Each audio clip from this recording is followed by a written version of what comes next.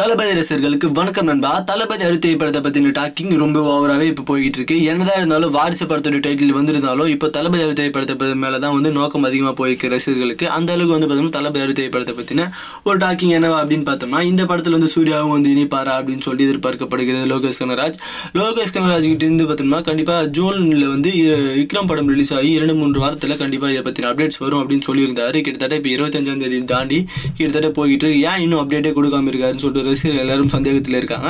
இந்த அப்டேட்டை ஜூலையில் கொடுத்துடலாம் அப்படின்ற மாதிரி நம்பிக்கையாக இருக்காராம் கண்டிப்பாக ஜூலையில் இதற்கான அனௌன்ஸ்மெண்ட்டான ஒரு வீடியோ அல்லது போஸ்டர் வந்து வரும் அப்படின்ட்டு எதிர்பார்க்கப்படுகிறது.